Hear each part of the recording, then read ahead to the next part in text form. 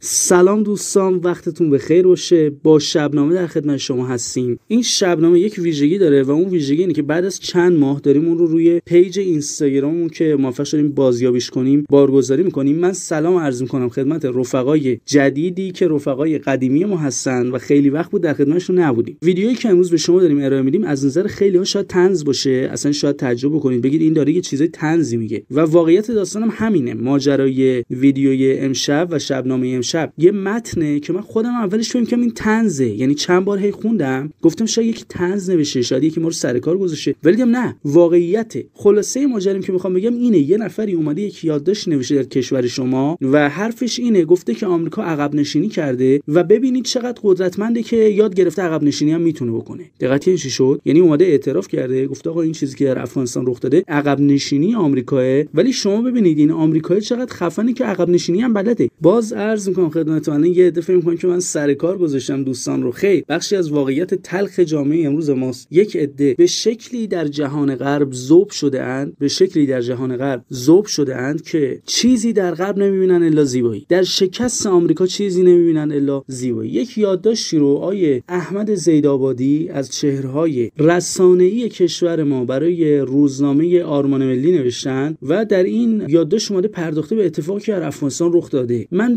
بخشیش رو می‌خوام از این متن برای شما بخونم ببینیم که چیا گفته ایشون. قبلش باز یادآوری می‌کنم من چند بار این متن رو خوندم هیچ کجایی این ننوشته که این چیزی که در داخل روزنامهمون در ستون یادداشت قانونشین تنزه. این کاملا واقعیه. چیزی که کاملا واقعی تعجب نکنید. بخونیم متن رو. گفته در این میان دستگاه تبلیغاتی جمهوری اسلامی نیز عقب نشینی آمریکا از افغانستان را به معنای ضعف و بیچارگی واشنگتن معرفی می‌کند. از یک زاویه این عقب نشینی نشانه ضعف است. زیرا قدرت و توان ایالات متحده قطعا لایزال و نامحدود نیست. میگه که جمهوری اسلامی اینو داره به عنوان شکست و ضعف معرفی می‌کنه. بعد خودش میاد تایید می‌کنه. میگه البته از یه زاویه نشانه شکست و ضعف هست. بعد در ادامه میگه اما از زاویه دیگر. اصل داستان اینجا شروع میشه. با دقت گوش بدین. اما از زاویه دیگر شناخت ضعف و تلاش برای رهایی از آن به نوبه خودش قدرت است و مانع فرو رفتن در باطلاقهای بی انتها و هدر دادن بی نتیجه منابع به صرف قدرت نمایی کاذب می شود آ این چیزی که میگیم شوخی نیست. یک عده در ایران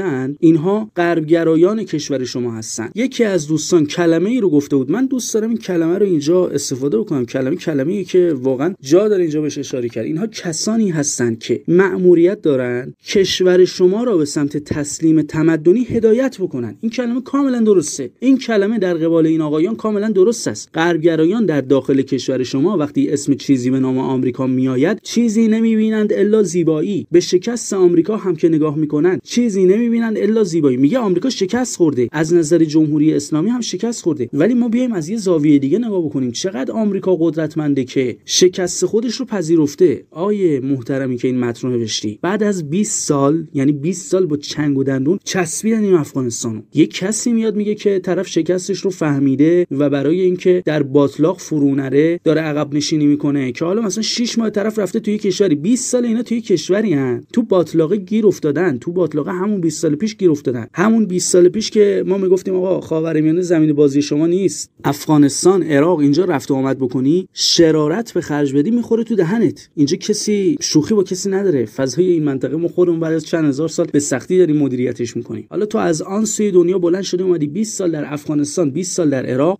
و بعد از 20 سال این دیگه خروج هوشمندانه به حساب نمیاد. این یک فضاحتی بوده که تو رسما داری ازش فرار می‌کنی. ببینید دوستان درد اینجاست. درد دقیقا اینجاست که آقایان حتی این شکست مفتزانه بعد از 20 سال یعنی دیگه طرف رسما ول کرده میگه من بیخیال شدم از اینجا می‌خوام فرار کنم. کنده از افغانستان رفته این رو هم اینها دارن به عنوان یک شکست هوشمندانه. میگه اینم نشونه قدرت آمریکا اینکه پذیرفته باید فرار کنه هم نشونه قدرتشه من برای اینکه ماجرای شما قابل فهمتر بشه به این نکته اشاره می‌کنم. کارشناس های مسائل نظامی در آمریکا کارشناس های مسائل سیاسی در آمریکا اندیشکده ها اتاق های تصمیم سازی همشون دارن بر یه چیزی بلا استثنا تاکید می‌کنن و اونم اینه. آقا ما بیایم بررسی بکنیم. ببینیم پیامدهای شکستمون چیه. اینا همه اعتراف کردن. میگه ما اصلا شکست خوردیم. الان در مقابل ملت ها در خاورمیانه باید این زیر پیرهن سفیدا رو در بیاریم. اعلام می‌کنیم ما شکست خوردیم. راهکاری نداشتیم. اومدیم جلو رسیدیم به این نقطه. ما شکست خوردیم. حالا بریم پیامدهاشو بررسی بکنیم. ببینیم پیامدش برای ما در خاورمیانه چیه؟ در برابر یک قدرتی به نام ایران. بعد ببینیم پیامدش برای ما در دنیا چیه؟ در مقابل کشورهایی که وجود دارن. بعد ببینیم پیامدش در مقابل رقبامون چیه؟ در مقابل دوستانمون هم چه پیامدی داره؟ بررسی بکنیم. یعنی از هر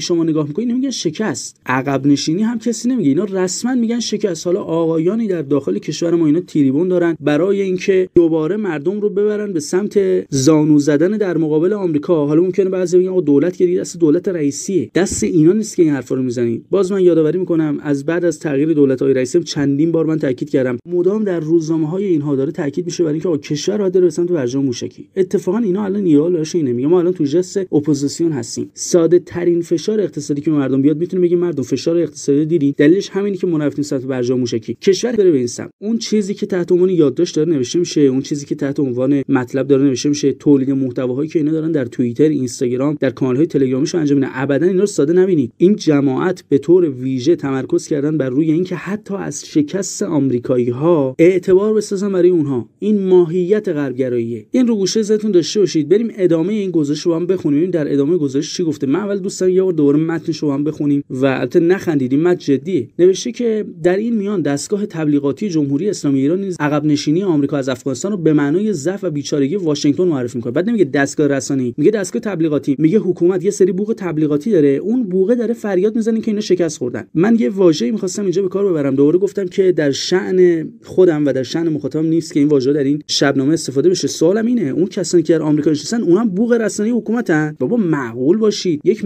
رو می‌خواید زیر سوال ببرید حقیقتی رو می‌خواید زیر سوال ببرید عقلانیت رو حداقل استفاده بکنید. از حقایق میدانی برای زیر سوال بردنش استفاده بکنید. دستگاه تبلیغاتی جمهوری اسلامی یعنی چی؟ اون کسانی که در آمریکا نشستن. بنیاد دفاع از دموکراسی که خیلی از رفقای این آقایون الان اونجا دارن فعالیت می‌کنن این بنیاد اومده یک یادداشت نوشته گفته این شکست اطلاعاتی بوده شکست نظامی بوده شکست سیاسی بوده همه جوره شکست بوده. اینها هم دستگاه تبلیغاتی جمهوری اسلامی ان عقلانیت کجای داستانه؟ یا ما موضوع هستیم که اوکی اگر موضوع هستید همین بنویسید دیگه. تو یادداشتتون بنویسید دستگاه تبلیغاتی جمهوری اسلامی. عقلانیتی هم در کار نباشه ما هم اعتراض نمی‌تونیم بکنیم. ولی اگر قرار هست قلم های ما حریت حریت در نوع نوشتنش در نظر گرفته بشه ما باید این مسئله در نظر بگیریم. متن رو دوباره بخونیم. من با انتهای متن اتفاقا اساسی کار دادم اصل داستان اونجا گفته در این میان دستگاه تبلیغاتی جمهوری اسلامی نیز عقب نشینی آمریکا از افغانستان را به معنای ضعف و بیچارگی واشنگتن معرفی می‌کنند والا تا جایی که ما می‌دونیم خود بایدن هم مصاحبه کرده گفته که ما چاره دیگه ای نداشتیم. یعنی ضعف و بیچارگی واشنگتن دیگه. من نمی‌دونم اینو شما چجوری می‌فهمید. یعنی آقایان غربگرا خدا رو اگر قبول ندارید بایدن که قبول دارید بایدن خودش داره میگه ما عقب نشینی کردیم ما شکست خوردیم ما چاره ای نداشتیم. شما چطور می تاکید می‌کنید بر اینکه دستگاه تبلیغاتی در جمهوری اسلامی هست؟ اون دستگاه داره تلاش می‌کنه که بگه این ضعف و بیچارگی آمریکاست. بریم ادامهش بخونیم. از یک زاویه این عقب نشینی نشانه ضعف است. زیرا قدرت توان ایالات متحده قطعا لایزال و نامحدود است.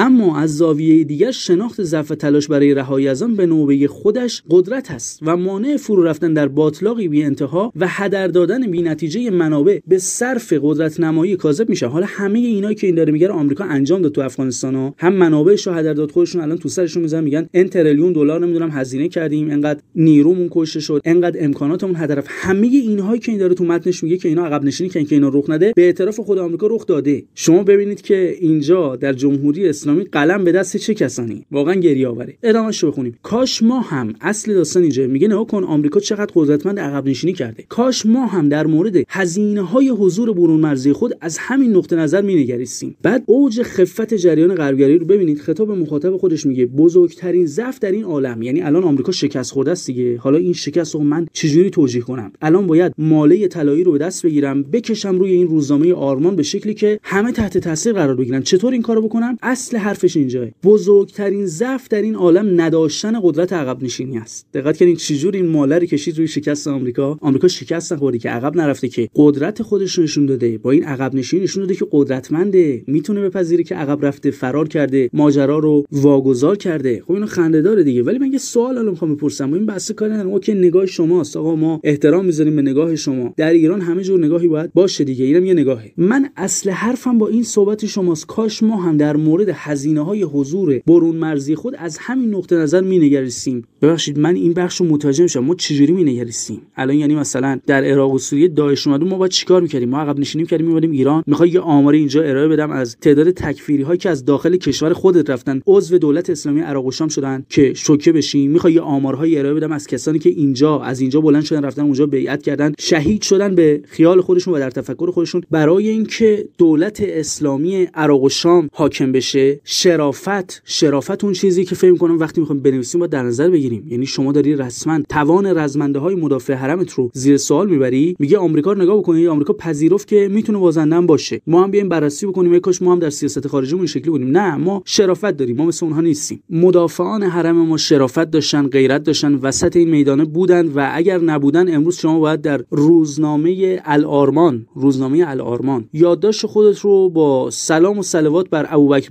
بغدادی شروع می‌کردی. امیرالمومنین خودت ابوبکر بغدادی شروع که اینا رفتن که این اتفاق نیفته. و اینها عقب نشینی نکردن. اینها از آمریکا بیشرفی رو یاد نگرفتن. شرافت رو از فرمانده شهید خودشون یاد گرفتن که این اتفاقا نیفته. فکر می‌کنم یه جاهایی واقعا باید بپذیریم که غربگراها با همه وجودشون وسط این میدان هستن. برای اینکه مخاطب جوان آنها مخاطب نوجوان آنها مخاطب ایرانی آنها جز قدرت و جز عظمت از آمریکا چیزی نبینه. از آمریکایی که دیگه آقا این برگاش ریخته. این ابرقدرت ابرقدرتی که میگید این دیگه چیزی ازش نمونده. عین الاسدش رو می‌زنن هیچ غلطی نمی‌تونه بکنه. هر روز کاروانهای خودرویش رو در عراق دارن می‌زنن هیچ غلطی نمی‌تونه بکنه. عراق رو افغانستان رو داره ترک می‌کنه میره اردن. این رو هم آقایان دارن تلاش می‌کنن که بزک بکنن برای مخاطب خودشون و این دردآور در خودش. من اگر اجازه این ویدیو رو همینجا متوقف می‌کنم خیلی ها ممکن است تعجب کرده باشن. اینا گفته شده اینا امروز در روزنامه های شما نوشته شده. حرفایی نیست که ما از خودمون در بیاریم. و دارن اینها رو میگن. اگر سلبریتی ها رو مسخره می‌کنیم یه جاهایی من خطاب به همه دوستان میگم بعضی مینا سلبریتی ها رو مسخره می‌کنن میگن در موضوعی که به ربطی نداره حرف نزن. اینها آقایانی هستن که در موضوعی که ازش فهم دارن دارن خلاف داستان میگن. یک عده‌ای باید پیدا بشن علیه اینا فریاد بزنن. با علم بر اینکه می‌دونه ماجرا جور دیگری هست داره مخاطب خودش رو منحرف می‌کنه و من و شما امروز اگر علیه اینا روشنگری نکنیم اگر علیه اینها ننویسیم اگر جامعه رو آگاه نکنیم اینها به تلاش خودشون برای به زانو درآوردن ایرانی ها ادامه خواهند داد. من این ویدیو رو همینجا متوقف می‌کنم. اگر نکته‌ای داریم برای بفرستین وقتتون بخیر.